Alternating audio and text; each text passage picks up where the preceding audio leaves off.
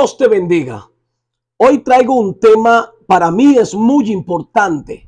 Es un tema de lo importante que es, es muy delicado. Y por eso quiero tocar este tema y profundizar en él para darte a entender por qué muchas veces en la iglesia no se siente nada. Los hermanos, en vez de ser liberados, salen mucho más cansados en vez de que el enemigo retroceda, más bien se entrona en la iglesia.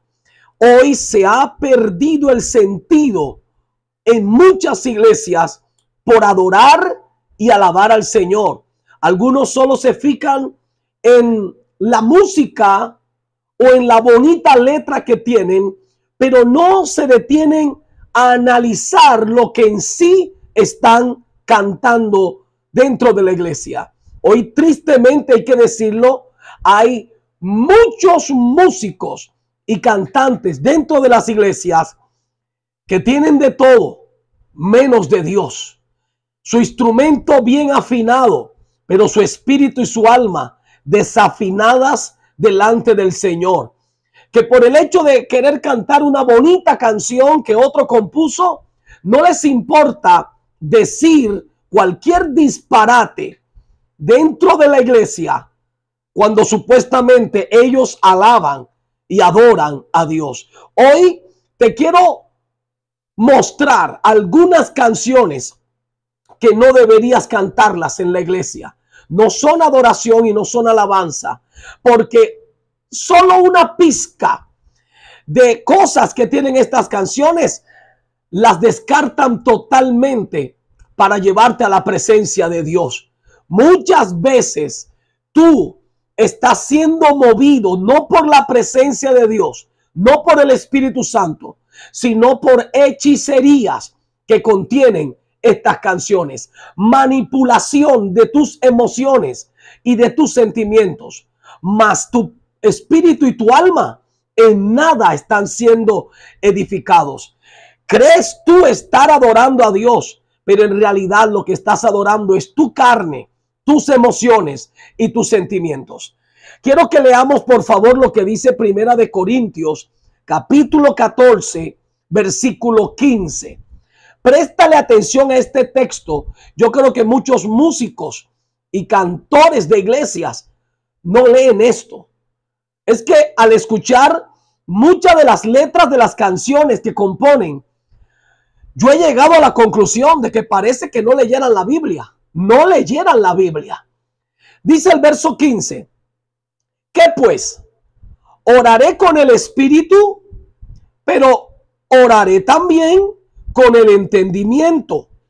Cantaré con el espíritu, pero cantaré también con el entendimiento.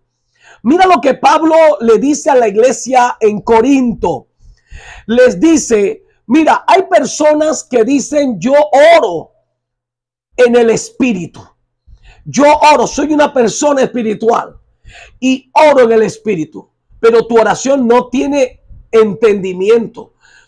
Asimismo, Pablo también le dice, cuando ustedes canten, canten con el espíritu, también deben cantar con el entendimiento. Mire, no se base solamente que la canción diga una que otra cosa eh, eh, eh, espiritual o supuestamente de Dios, no, no, no se acostumbre solamente a una que otra cosa. Usted debe analizar el objetivo de esa canción que usted está cantando. Usted debe cantar con el entendimiento. Con el entendimiento. Usted no puede cantar cualquier cosa, decir lo que sea Usted tiene que analizarlo. Usted tiene que estudiarlo. Mire, muchas de las canciones que se cantan en las iglesias, la gente las repite como loros. Y en realidad a Dios no están adorando.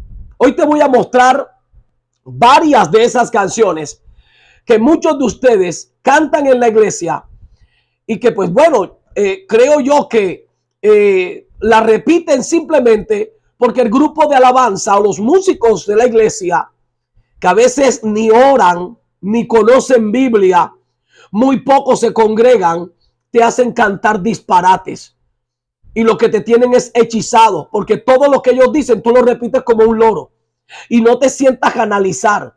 Yo desde hoy te quiero aconsejar, no cantes todo lo que ellos cantan, analiza qué están diciendo, porque dentro de esas letras hay muchas cosas antibíblicas y satánicas, totalmente antibíblicas. Mire, grupos musicales famosos, reconocidos a nivel mundial, que en sus canciones tienen muchas letras antibíblicas. Muchas de esas canciones tienen cosas insertadas antibíblicas totalmente. Y quiero partir desde una joven, bueno, ya ni joven ni tanto, ella es conocida como Anet Moreno y tiene la canción Guardián de mi corazón. Guardián de mi corazón. Mira la letra de esta canción. Mira la letra. La letra dice, guardián de la puerta del amor, déjame entrar. Necesito tu calor, quiero acariciar. Mi estrella otra vez.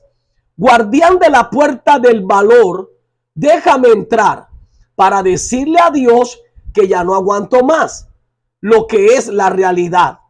Por favor, guardián, guardián de mi corazón, de mi corazón. Mire, si usted analiza esto, y esto lo cantan en muchas iglesias, guardián de la puerta del amor, déjame entrar. Pregunto yo, ¿a quién le estará cantando ella? A un ángel.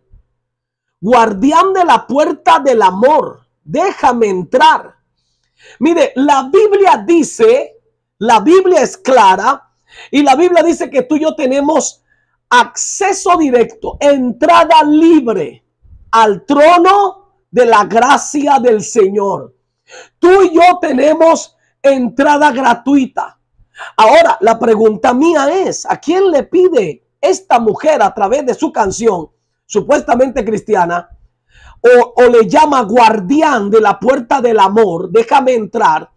Si el mismo Señor Jesús dice en Mateo 11, 28, vengan a mí todos los que estén trabajados y cargados, que yo os haré descansar.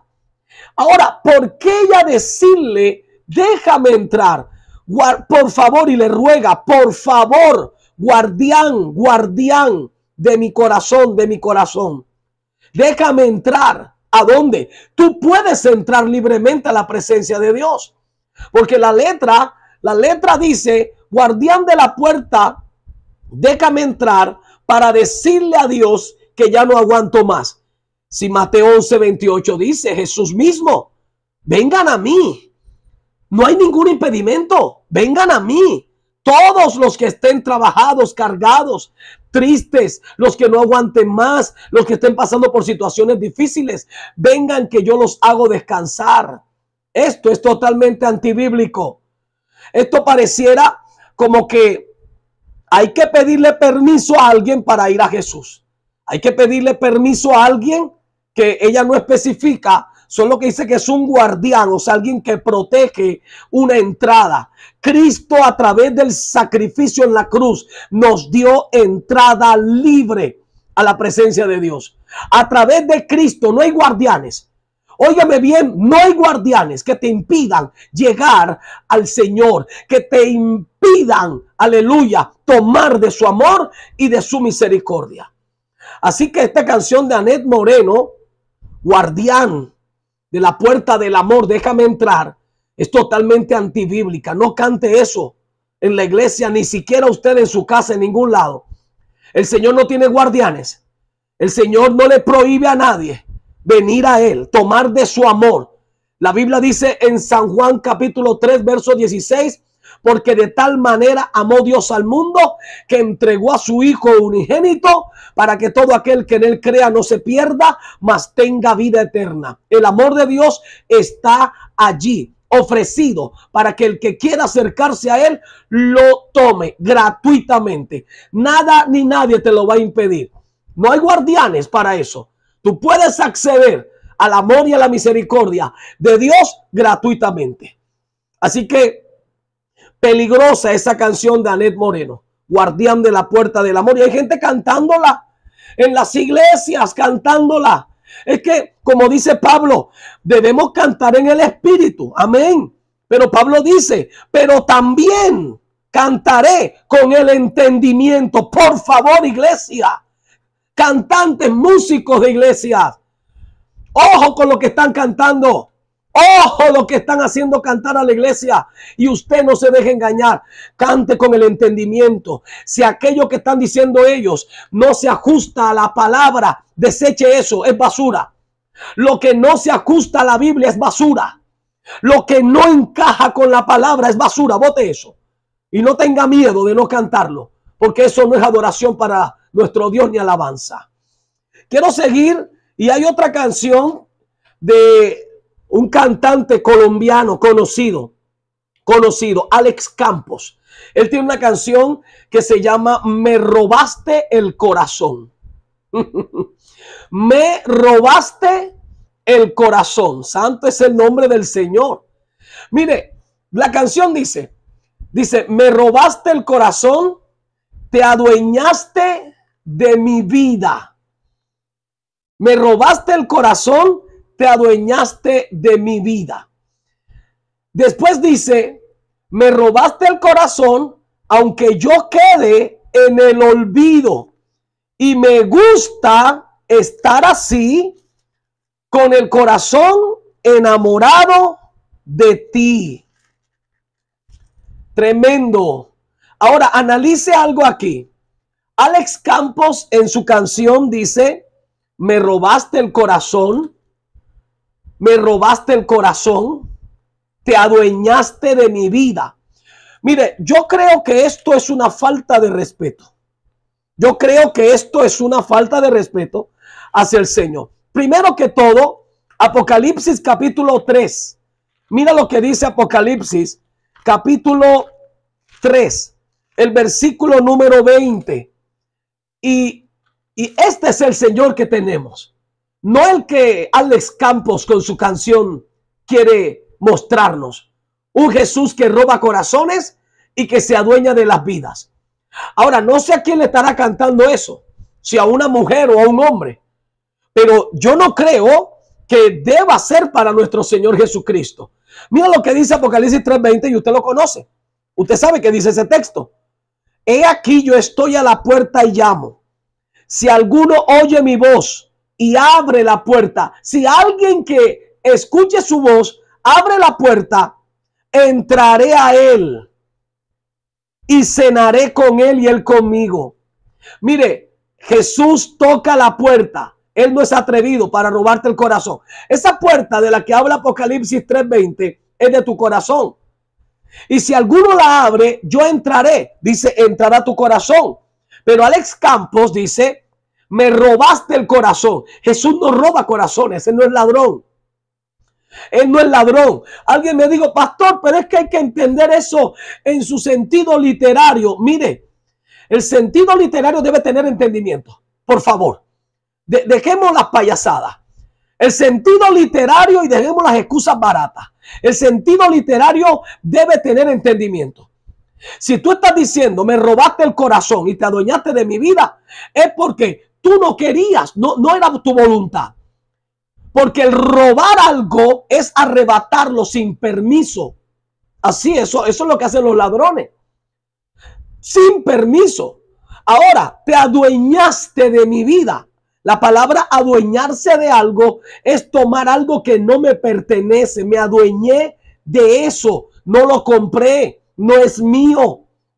Entonces, cuando Alex Campo dice, me robaste el corazón, te adueñaste de mi vida. Primero es totalmente antibíblico porque Jesús no roba corazones y tampoco se adueña de la vida de ninguno. Aún en la misma palabra dice, dice el Señor, dame hijo mío tu corazón, dámelo. Dame hijo mío tu corazón. El Señor no te va a robar ningún corazón. No se va a adueñar de tu vida. Ahora, la última parte de esta canción de Alex Campos, de Me robaste el corazón, dice, me robaste el corazón. Aunque yo quede en el olvido y me gusta estar así, con el corazón enamorado de ti. ¿Qué es esto? ¿Cómo es esto? Y hay cristianos cantando esto. Ojo lo que dice, me robaste el corazón, aunque yo quede en el olvido. Mire, qué locura, por favor, póngale el entendimiento. ¿Cómo que Jesús te roba el corazón y después te olvida? Eh, eh, eso es lo que dice esto. Mire, yo soy escritor y yo entiendo lo que es el sentido literario, el contexto literario de las cosas, pero esto no tiene sentido. Me roba, y si se está refiriendo a Jesús según Alex Campos, me robaste el corazón aunque yo quede en el olvido. O sea, me robas el corazón y me olvidas. Y para completar dice, y me gusta estar así. ¿Cómo es que me gusta estar así? o sea, que me olvides. Me gusta estar olvidado. Mire, el único que se roba el corazón y olvida a la gente después que la destruye es el diablo. Y hay gente que después de estar destruida, olvidada por el diablo, hasta se sienten bien así. Tú lo que invitas a la iglesia y no quieren venir, ellos se sienten bien así. Mire, por favor, deje de cantar eso en la iglesia. Me robaste el corazón, aunque yo quede en el olvido. Y me gusta estar así. Eso es diabólico, no es bíblico. Eso hay que desecharlo porque no encaja en la Biblia. Primero, el Señor no roba corazones. Segundo, el Señor no, no, no eh, eh, se adueña de tu vida. Y tercero, tampoco te olvida. Él no te olvida. Tres cosas tiene esa canción. Me robaste el corazón. Te adueñaste de mi vida. Y después para completar dice, me olvidas. O sea, me robas el corazón aunque yo quede en el olvido. Me robas el corazón aunque yo quede en el olvido. Mira, el Señor, cuando entra a tu corazón, antes estás tú más presente en el Señor. Cuando Él entra a tu corazón, tú estás más en Dios. Aleluya, en sus planes. Bendito sea el Señor. Así que esta canción de Alex Campos hay que desecharla. No cantes eso. Totalmente antibíblica. Por favor, el consejo del apóstol Pablo dice, oraré con el espíritu, pero oraré también con el entendimiento. Cantaré con el espíritu, pero cantaré también con el entendimiento. Por favor, dejen de estar repitiendo como loro lo que son muchachos que no saben ni qué es lo que están haciendo que están supuestamente cantando y alabando, es según ellos a Dios, te están haciendo repetir y tú como un loro diciendo disparates. Métele el entendimiento de hoy en adelante a todos los que esos grupos musicales de la iglesia canten. Analízalo por la palabra. Y si eso no se ajusta, mira, toma autoridad y repréndelos. Dile, mira, esto no es bíblico. Ustedes están cantando cosas antibíblicas. Cosas antibíblicas. El tercer o, la tercera cantante cristiana, y esta canción me preocupa mucho porque esta canción la cantamos, un montón de gente la cantamos en su tiempo. Cuando esto salió, eso era el boom en las iglesias. Nancy Amancio con la canción Arrebato. Arrebato. Mira, digo porque esta canción, hasta aquí en la iglesia donde yo estaba, cuando yo la empecé a escuchar, algo no me cuadró. Yo le decía al grupo de alabanza, aquí hay algo raro. Yo voy a estudiar esa canción. Cuando la, cuando la analicé, aquí no se canta más eso. Mire, la canción dice, aunque se levanten mil gigantes contra mí, no temeré. Está bien hasta ahí. El enemigo no podrá tocar mi fe. Está bien porque Dios me ha cambiado el nombre y me hizo su hija. Y hoy soy cabeza y no cola. Y ahora vivo de gloria en gloria. Bueno, está bien, la declaración está bien. Eso que dijo está bien. El problema está en lo que viene. Desde aquí comienza el problema. Dice ella, hoy me apodero, ojo aquí, aplica el entendimiento. Hoy me apodero de lo que a mí me pertenece. Lo que me has quitado. Ahora, la canción aquí cambia. ¿A quién se está dirigiendo ella? Pregunto, ¿hacia quién se está dirigiendo la canción de Nancy Amancio? Ahora vamos a ver a quién le está hablando ella. Y dice, lo que me has quitado, me lo devolverás con creces. Porque Dios me hizo su hija y con los hijos de Dios nadie se mete. Y le dice, hoy me apodero de lo que a mí me pertenece. Lo que me has quitado, me lo devolverás con creces. Es que Dios me hizo su hija y con los hijos de Dios nadie se mete. Él me hizo y empieza a hablar con esa persona coheredera juntamente con él. Y me ha dado el poder para atar y desatar y declarar una palabra que cambie tu generación. Y hoy declaro que él te devuelve lo que te robó. Mira, Nancy Amancio primero se dirige a una persona que ella dice que le ha robado muchas cosas. Porque más adelante tú oyes que ella dice, hoy te, te arrebato mi familia, Hoy te arrebato mi salud. Hoy te arrebato los tesoros de los cielos. Hoy te arrebato y hoy te arrebato y hoy te arrebato. ¿A quién le está cantando? ¿A quién se está dirigiendo ella? A Satanás. Nancy Amancio con su canción Arrebato, a quien le está reclamando es a Satanás. Mire, yo debo decirle que la adoración y la alabanza no es para orarle al diablo. Esta canción la canta mucha gente. ¿Y sabe a quién se la están cantando? No al Señor, al diablo. Es como si van con un reclamo a Satanás.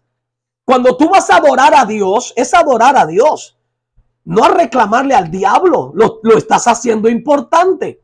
La gente cree que esto o esto que cantan es contra el diablo. No, Tú lo estás volviendo a él famoso dentro de la iglesia en el momento de alabar y el momento de adorar a Dios. ¿Sabes qué es lo que estás haciendo? Estás reemplazando la adoración al Dios eterno por ponerte a hablar con Satanás. Imagínese, ya no, no, o sea, no sé a dónde han llegado. Ya hasta el diablo le dedican canciones aunque le, recuerdan un montón de cosas, pero son dirigidas a Satanás de todas maneras. Y el momento de alabar y adorar a Dios no es para eso. Bendito sea el Señor. No es para eso. Mire, ya el Señor ganó tus bendiciones. El Señor ya las tiene. ¿Tú qué haces diciéndole al diablo? Yo te arrebato. Ya Cristo se lo arrebató. Lo que tú tienes que hacer es reclamar lo que el Señor hizo por ti. Reclámalo. Tú no tienes que ir a arrebatar nada. Tú tienes es que reclamar porque si es tuyo, nadie puede tener lo que es tuyo. Reclámalo. Ahora, no te pongas a estar cantándole al diablo. La alabanza y la adoración no es para dedicársela al diablo. El tiempo de alabanza y de adoración no es para dedicársela al diablo. Es para dedicársela a nuestro Dios todopoderoso, a nuestro Rey eterno y maravilloso. Aleluya. Así que esta canción, Arrebato, está, es dirigida, es a Satanás y no a Dios. Por ninguna parte aparece que aquí se está adorando al Señor, se le está reclamando al diablo y se le está dedicando, se está conversando con Satanás. Esta canción de arrebato es una conversación con el diablo. Tenga mucho cuidado.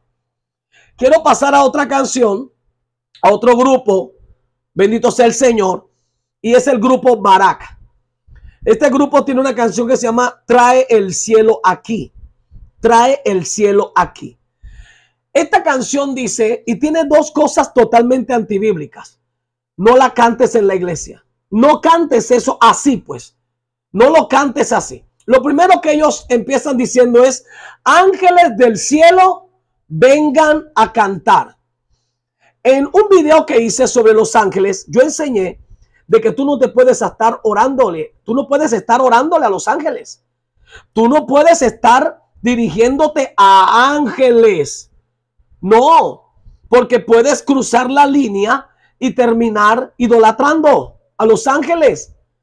Aquí para, ¿qué está haciendo con esta canción? Cantándole a los ángeles, le está dedicando parte de esta canción a los ángeles y le oran a los ángeles. Le están orando a los ángeles. ¿Qué le están diciendo? Ángeles del cielo. vengan a cantar. ¿Qué es eso? Están orando. Mira, al único que tú te debes dirigir para que envíe a los ángeles es al Padre Celestial. El mismo Jesús dijo, ¿acaso no puedo yo pedir a mi Padre que me envíe doce legiones de ángeles? Pero Jesús no dice, yo voy a pedirlo, no, él dice, yo pediré a mi Padre y él me enviará doce legiones de ángeles. Pero Bará con esta canción nos está diciendo que nosotros podemos decir a los ángeles directamente, orarle a ellos que vengan a hacer algo. Imagínense, decirle que vengan a cantar. Santo es el nombre del Señor. Si el que envía a sus ángeles a adorar es Dios mismo.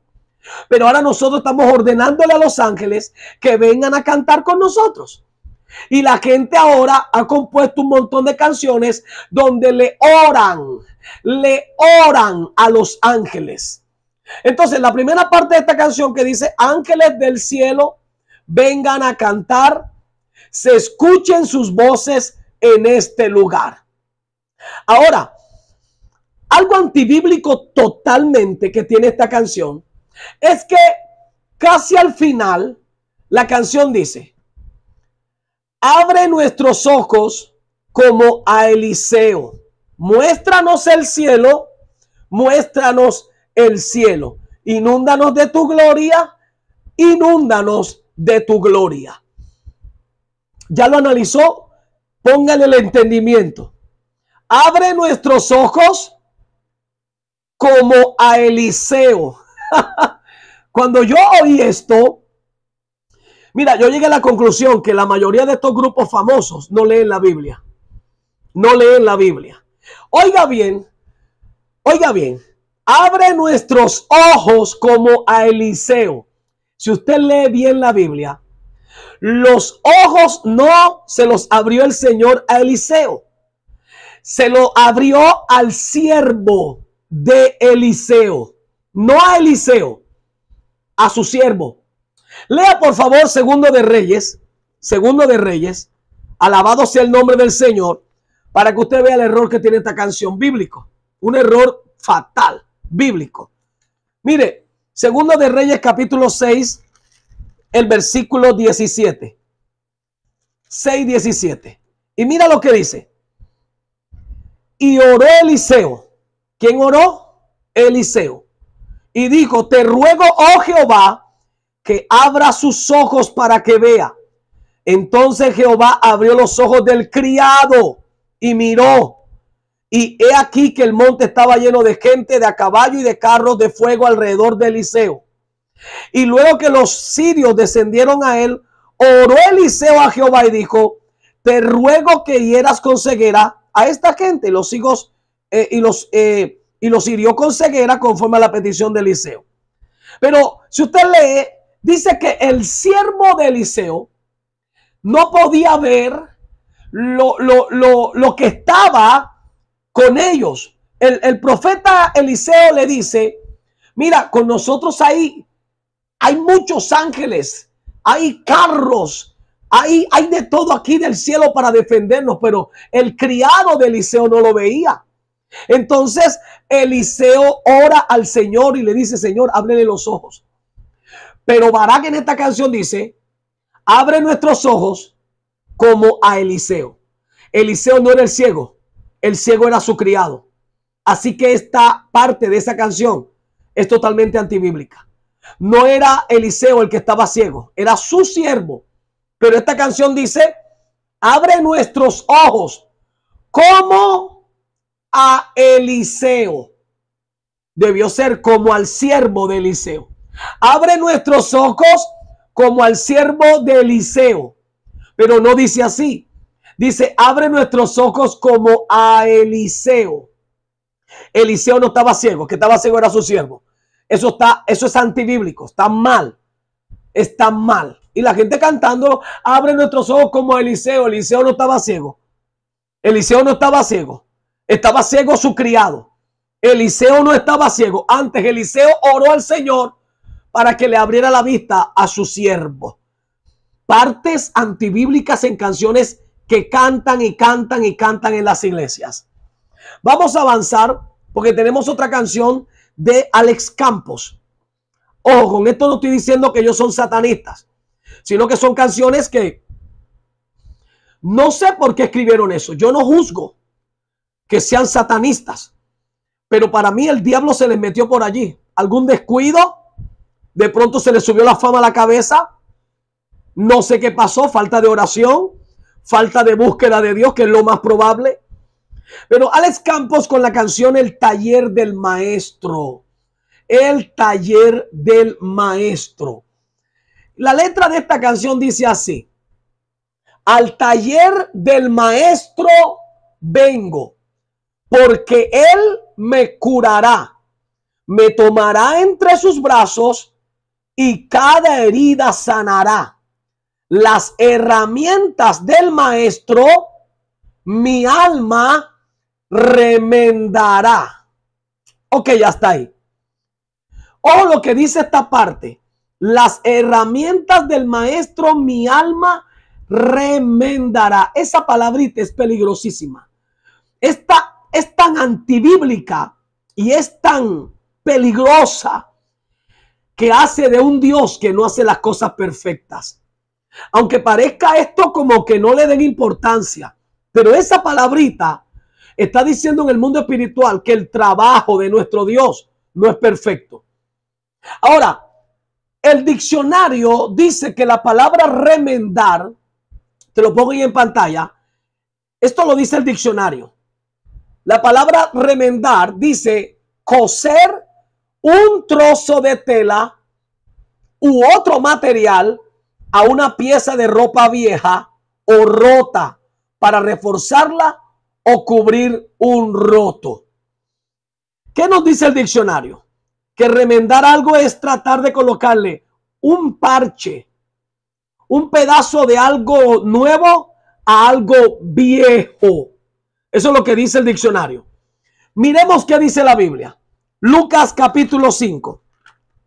Lucas capítulo 5 nos da luz a lo que en realidad el diccionario dice.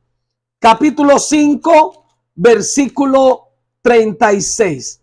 Mira lo que dice este poderoso versículo. Ten cuidado con esa canción. El Señor no remienda. Esto dice Lucas 5, 36. Les dijo también una parábola. Nadie corta un pedazo de un vestido nuevo y lo pone en un vestido viejo. Pues si lo hace, no solamente rompe el nuevo, sino que el remiendo sacado de él no armoniza con el viejo. No armoniza. Pero Alex Campos nos dice que las herramientas del maestro, su alma remendarán. El Señor no remienda Alex Campos.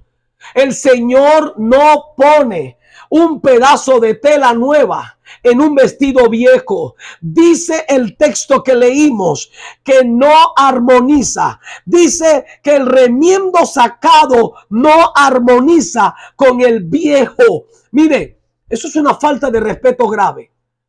Alex Campos decir en su canción, las herramientas del maestro, mi alma remendarán. El Señor no remienda. Alex Campos, qué pena, lo siento mucho, pero tu canción está desenfocada. El Señor Jesús dice la Biblia que Él todo lo hace nuevo. Aún la Biblia dice que el que no naciere de nuevo, no remendado, no, no, no, es nuevo, nuevo, un nuevo nacimiento. Las herramientas del maestro no te van a remendar. El trabajo que el Señor hace, dice la Biblia, que el que comenzó la buena obra en nosotros, Él la perfeccionará, no la remendará. Y esa palabrita está sutilmente metida allí. Y tú oyes gente cantando, el taller del maestro vengo porque él me remendará. El Señor no remienda, hay poder en la sangre de Jesús. El Señor reprenda al diablo. El Señor no remienda. Si tú estás remendado al escampo es tu problema. Y si tú que argumentas que no le ves nada de malo a la canción, pues entonces tú estás remendado. Porque la gente que ha sido tocada por el poder de Dios, que ha recibido a Jesús en el corazón, Él las hace nuevas personas, no remendadas. Y ese es el evangelio que muchos quieren. Un evangelio de remiendos Gente remendada. Yo no quiero que el Señor me remiende, que me haga nuevo, que me quite lo que no es de Él y me ponga lo que es de Él, que me cambie totalmente, que me purifique, que me santifique. Aleluya. No está bien, dice el texto. Dice, no está bien. Aleluya. Poner un remiendo nuevo en un vestido viejo. Santo es el Señor. No está bien. Leo otra vez y les digo también una parábola. Nadie, oiga, nadie corta un pedazo de un vestido nuevo y lo pone en un vestido viejo. Pues si lo hace, no solamente rompe el nuevo, sino que el remiendo sacado de él no armoniza con el viejo. No le pidas más al Señor que te remiende. El Señor no remienda. El Señor hace también las cosas que las hace perfectas. El sacrificio de Cristo no nos remendó. El sacrificio de Cristo nos perfeccionó. Alex Campos, estás equivocado. Si tú estás remendado, no sé quién te remendó, pero el Dios Todopoderoso, el Señor Jesucristo, no pone remiendos. Él transforma, Él perfecciona, Él santifica y Él hace nuevas todas las cosas y a todas las personas. Quiero seguir. Hay otra, otra canción, esta es la última, hay muchas, pero en este video, en esta primera parte, quiero tocar estas. Después tendré otro para que usted siga analizando. Y esta canción eh, se llama El trono sublime. El trono sublime. La letra dice así. La letra dice así. Más allá del horizonte y de las nubes habita un rey. Más allá de las estrellas la luna y las esferas. Vive Jehová, más o menos dice la letra así. Y este, y hay una parte donde dice, donde dice eh, esta canción, y los 24 ancianos dicen santo, santo, santo a su majestad. Le repito lo que dice. Y los 24 ancianos Dicen santo, santo, santo a su majestad. Mira, la canción se ve bonita, se ve bonita y, y, se puede cantar, pero tiene un error bíblico. La puedes cantar, pero no diciendo esa parte. No así. La parte dice, y los 24 ancianos dicen, santo, santo, santo. Si tú lees la Biblia, te vas a encontrar de que los 24 ancianos no son lo que dicen esa parte en la Biblia. Los 24 ancianos hacen otra cosa. Lee conmigo, por favor, Apocalipsis, libro de Apocalipsis capítulo 4, Apocalipsis capítulo 4, mira lo que dice el versículo 8. Mira lo que dice. Y los cuatro seres vivientes tenían cada uno seis alas y alrededor y por dentro estaban llenos de ojos y no cesaban día y noche de decir, santo, santo, santo. La pregunta mía en la canción, ¿quién es el que dice santo, santo? Eh, eh, ahí dice, y los 24 ancianos Dicen santo, santo, santo, pero aquí no son los 24 ancianos, aquí son los cuatro seres vivientes. ¿Qué pasó? ¿Por qué esta compositora o esta cantante quiso colocar a los 24 ancianos en el lugar de los cuatro seres vivientes? ¿Por qué? ¿Por qué quiso cambiar de posición a los cuatro seres vivientes y decir que los que dicen santo, santo, santo son los 24 ancianos, cuando en realidad Apocalipsis 4.8 dice que los que dicen santo, santo, santo son los cuatro seres vivientes. Pero mira quiénes son, mira lo que hacen los 24 ancianos. El versículo número 10. Ahora sí, los 24 ancianos se postran delante del que está sentado en el trono y adoran al que vive por los siglos de los siglos y echan sus coronas delante del trono diciendo, Señor, esto es lo que sí dicen ellos, Señor, digno eres de recibir la gloria y la honra y el poder, porque tú creaste todas las cosas y por tu voluntad existen y fueron creadas. Eh, este compositor o esta persona que compuso esta letra cambió de posición. Cambió de posición. Colocó a los 24 ancianos en el lugar de los cuatro seres vivientes. Y eso está mal. Está totalmente antibíblico. Son cosas sencillas, curiosas, pero como dice el apóstol Pablo en Primera de Corintios 14, 15, que pues Oraré con el espíritu, pero oraré también con el entendimiento. Cantaré con el espíritu, pero cantaré también con el entendimiento.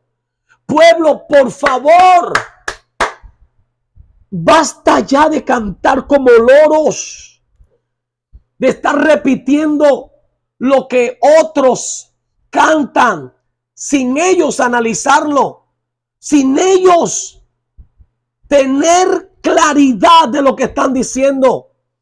Y cantamos y repetimos como loros lo que unos músicos o cantores ni siquiera saben que están diciendo, que no oran, que no buscan a Dios, que no se congregan como debe ser. Es una cosa tremenda. Qué peligro. Hay muchos cristianos hechizados, repitiendo como loros lo que otros, sin discernimiento, sin oración, sin ayuno y sin casi congregarse, sin revelación del Espíritu de Dios, se ponen a cantar. Estos solo fueron algunas de las canciones que se cantan en las iglesias. Peligroso. Peligroso lo que en algunas iglesias se está cantando. Mira, desde hoy, usa el entendimiento. No tragues entero. Aplica el entendimiento del Espíritu Santo para que comprendas y llévalo a la palabra. Vamos, se están cantando esto. Espérate, eso está como raro. Vamos a la palabra. Yo voy a buscar eso. Yo no voy a repetir como un loro eso que están diciendo. Ajá, y si estoy blasfemando y si estoy ofendiendo al Señor, como Alex Campos que dice que las herramientas del maestro me van a remendar, el Señor reprenda al diablo. Y más, me robaste el corazón, te adueñaste de mi vida y muchas cosas más. Lo que digan de ahora en adelante esos muchachos que cantan, ve a la Biblia. Está en la Biblia. Se ajusta la palabra. Entonces adora a Dios. Pero ten cuidado. Porque quién sabe que has estado cantando, guiado por grupos musicales, por muchachos que ni oran, ni leen Biblia. Es que ni Biblia tienen. Muchos músicos, pregúntale dónde está su Biblia. Pregúntale. Dile, muéstrame tu Biblia. Vamos, dile. Ve a tu iglesia y acércate al altar. Y, y pregúntale a los músicos, ¿dónde está la Biblia de ustedes? ¿Por qué no la tienen con ustedes aquí en el altar? ¿Dónde tienes tu Biblia? Si tu Biblia debe estar contigo en el altar, tu Biblia debe estar contigo ahí. ¿Dónde está tu Biblia? Canta con Biblia en mano.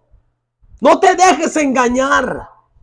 Estos son tiempos peligrosos donde Satanás está engañando a mucha gente. Hay poder en la sangre de Cristo.